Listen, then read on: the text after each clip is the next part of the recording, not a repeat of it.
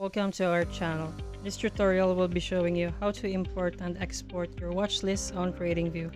Whether you're a beginner or an experienced trader, we've got you covered so let's get started.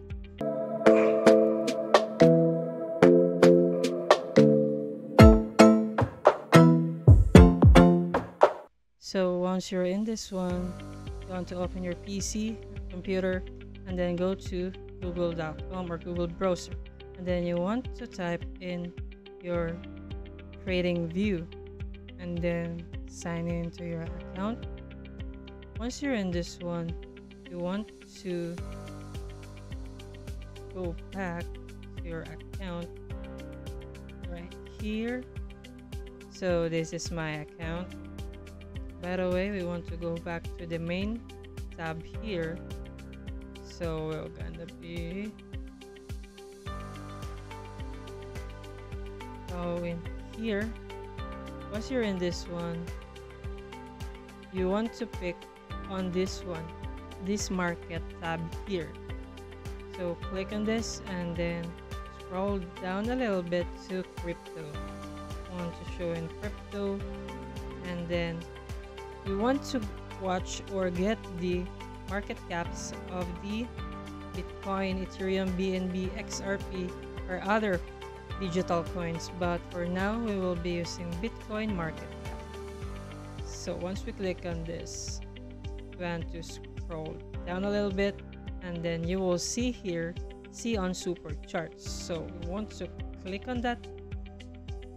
And then once you click on that, this new tab right here will open once this open you will see here so let's wait for it to load.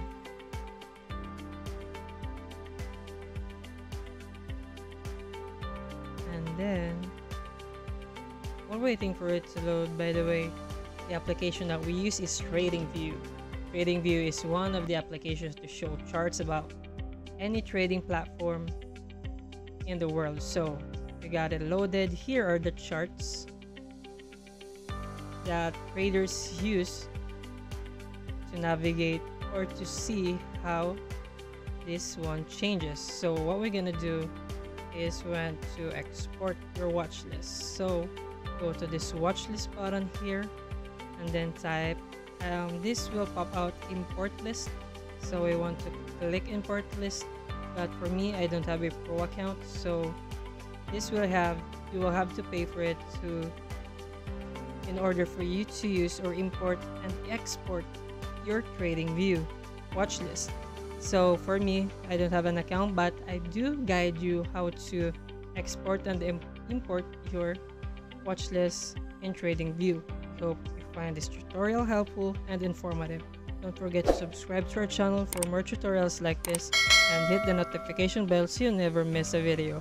Thanks for watching and we'll see you on the next one.